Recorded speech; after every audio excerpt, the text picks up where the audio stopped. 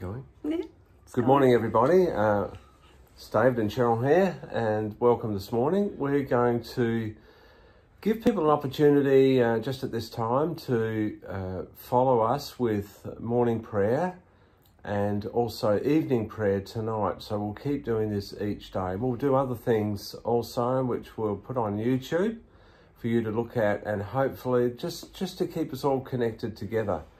Uh, I just ask you also if anybody has any needs and they want to share those needs with other people, you can let me know, and we can we can perhaps mention that on YouTube or whatever it might be as well, and pray for one another in that way. Yeah, so send in your prayer requests. So send in prayer requests. So we're on Monday morning with morning prayer, and uh, you just follow us through. We've got a couple of readings here and uh, soon we'll be finished and any other announcements uh, we'll mention those at the end too. So let's begin with morning prayer. Uh, if you've got a prayer book it's on page 390 i'll just give you 20 seconds to grab a prayer book green prayer book and if you want to follow through if you've got one. So let's do that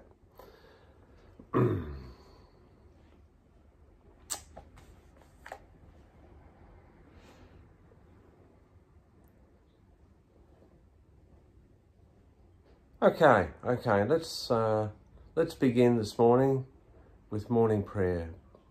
God's love has been poured into our hearts. Through the Holy Spirit who has been given to us. Glory to God, Father, Son, and Holy Spirit. As in the beginning, so now and forevermore. Amen. And so what we'll do is we'll do alternate verses in this canticle. Um, so uh, I'll begin and uh, again with uh, alternate verses. I will sing a new hymn to my God. O Lord, you are great and marvellous. You are marvellous in your strength, invincible.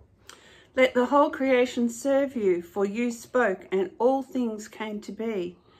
You sent out your spirit and it formed them. No one can resist your voice. Mountains and seas are stirred to their depths. Rocks melt like wax at your presence. But to those who revere you, you still show mercy. The night has passed and the day lies open before us. Let us pray with one heart and one mind.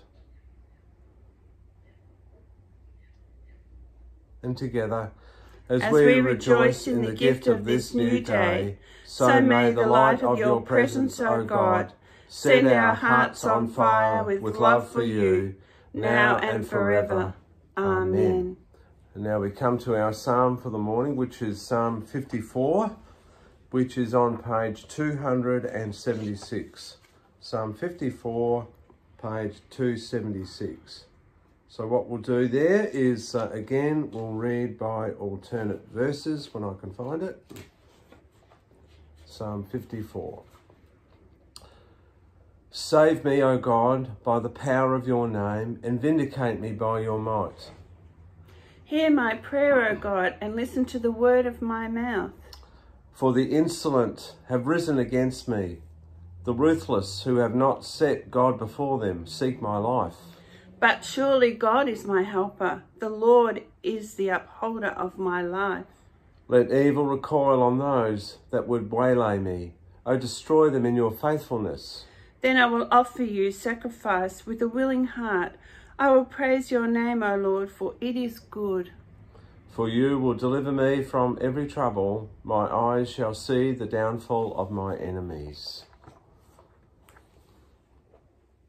Creator Spirit, advocate, advocate promised by our Lord Jesus, increase our faith and help us to walk in the light of your presence to the glory of God the Father through Jesus Christ our Lord. Amen. Amen.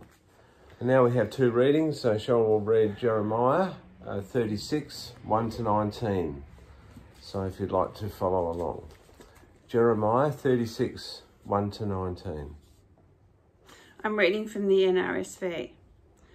The scroll read in the temple. In the fourth year of King Jehoiakim, son of Josiah of Judah, this word came to Jeremiah from the Lord.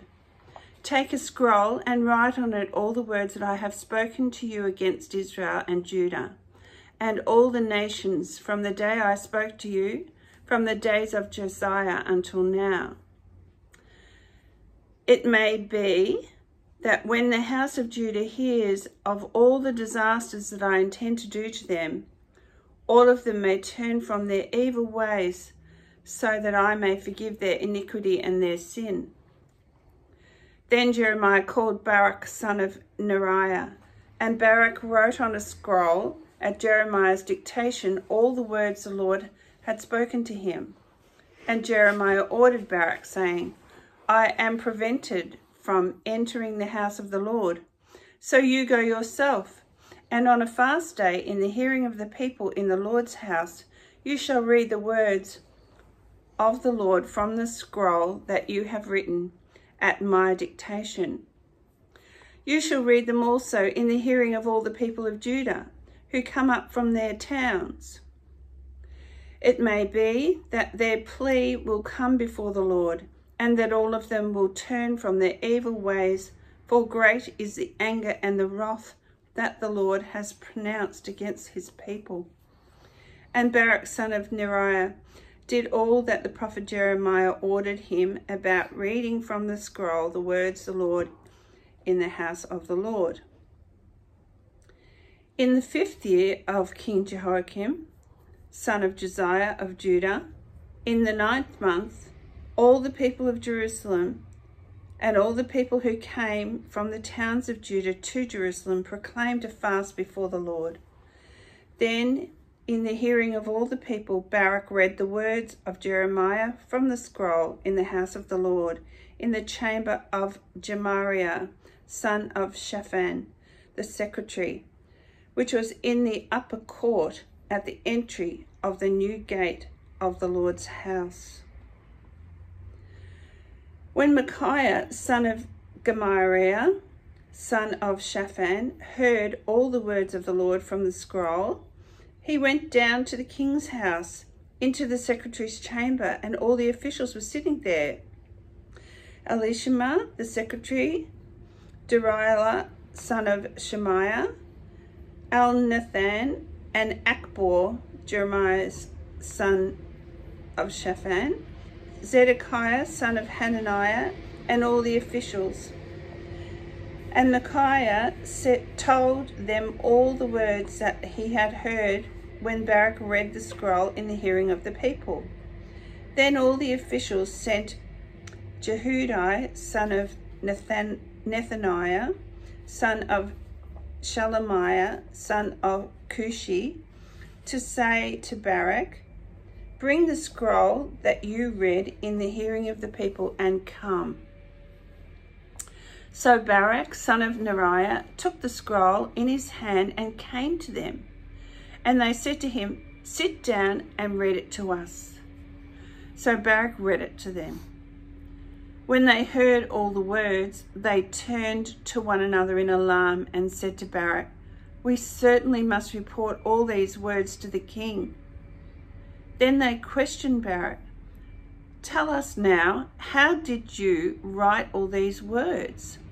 Was it at his dictation? Baruch answered them, He dictated all these words to me, and I wrote them with ink on this scroll. Then the officials said to Baruch, Go and hide, you and Jeremiah, and let no one know where you are. This is the word of the Lord. Thanks be to God. So our second reading is from Luke's Gospel, uh, Luke's Gospel, chapter 18, verses 1 to 14. the parable of the widow and the unjust judge, and the parable of the Pharisee and the tax collector. Then Jesus told them a parable about their need to pray always and not to lose heart. He said, in a certain city there was a judge who neither feared God nor had respect for people. In that city there was a widow who kept coming to him and saying, Grant me justice against my opponent. For a while he refused, but later he said to himself, Though I have no fear of God and no respect for anyone, yet because this widow keeps bothering me, I will grant her justice so that she may not wear me out by continually coming. And the Lord said, Listen to what the unjust judge says. And will not God grant justice to his chosen ones who cry to him day and night? Will he delay long in helping them? I tell you, he will quickly grant justice to them. And yet, when the Son of Man comes, will he find faith on earth? He also told this parable to some who trusted in themselves that they were righteous and regarded others with contempt. Two men went up to the temple to pray, one a Pharisee and, and the other a tax collector.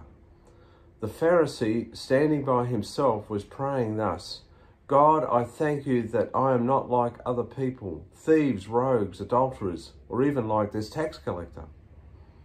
I fast twice a week, I give a tenth of all my income. But the tax collector, standing far off, would not even look up to heaven, but was beating his breast and saying, God be merciful to me a sinner. I tell you, this man went down to his home justified rather than the other. For all who exalt themselves will be humbled, and all who humble themselves will be exalted. For the gospel of the Lord. Praise to you, Lord Jesus Christ.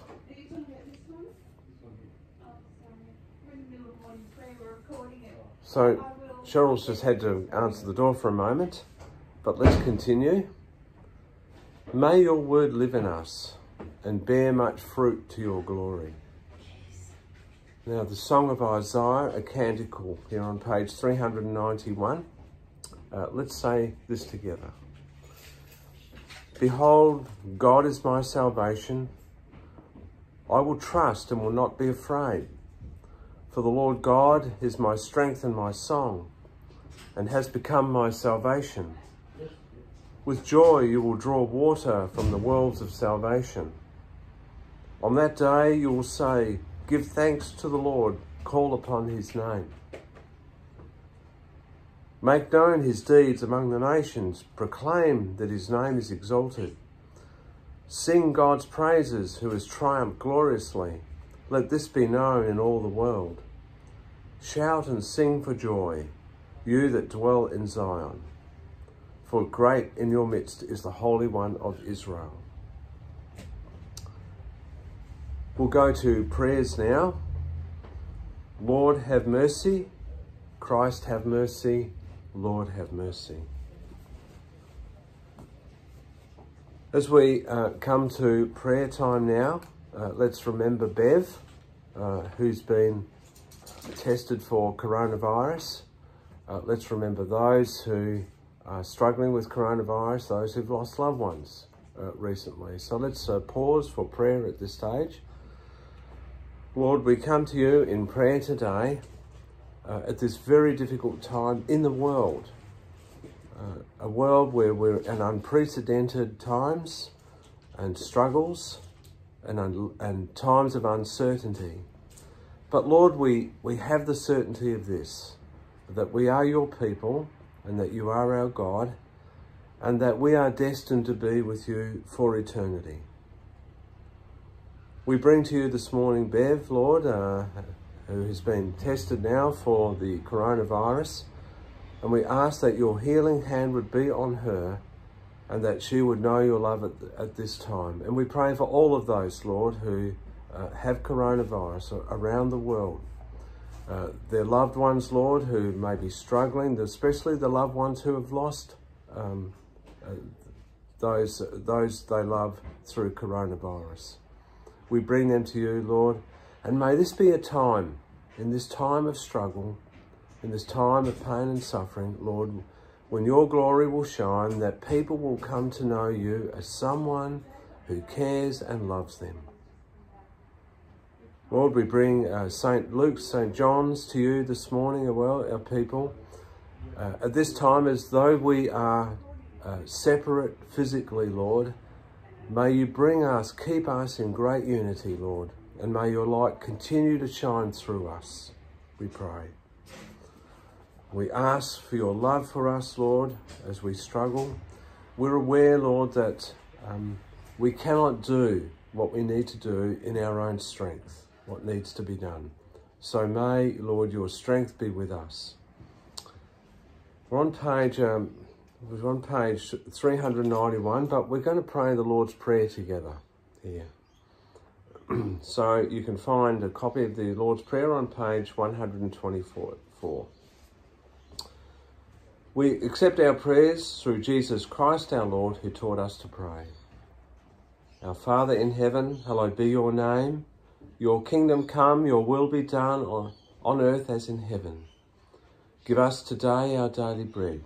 Forgive us our sins as we forgive those who sin against us. Save us from the time of trial and deliver us from evil.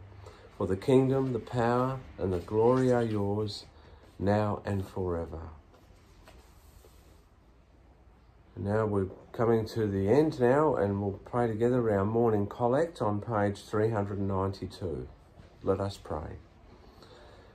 Eternal God and Father, by whose power we are created and by whose love we are redeemed, guide and strengthen us by your Spirit, that we may give ourselves to your service and live this day in love to one another and to you, through Jesus Christ our Lord.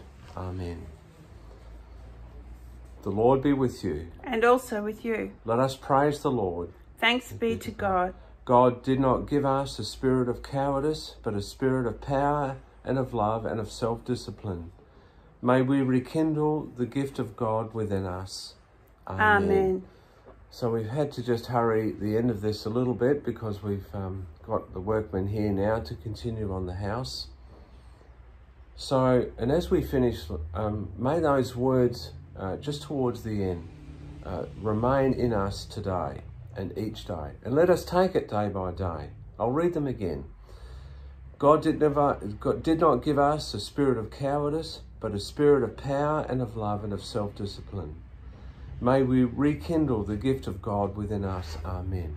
So as we face this day, uh, let us remember that we are not of the world, but we are uh, citizens of the kingdom of heaven. That's where we belong. That's where we are. Whatever is going on around us, we are God's people and we belong to Him. So let us live that today. Uh, let us remember one another in prayer. Let us pray for one another. And let us remain as people of hope in the power of God's Spirit. In Jesus' name we pray. Amen. Amen. So we'll catch up again uh, this evening with, um, with evening prayer. Uh, I understand, uh, I've heard uh, secondhand with a radio in the background somewhere that uh, that the Premier has, uh, the government here, the local state government is shutting down or locking down Victoria today. So all the more we need to pray for one another and remember one another and remain in unity as God's people. So we'll see you later this evening. Uh, in, in the meantime, uh, God bless your day today. Amen. Amen.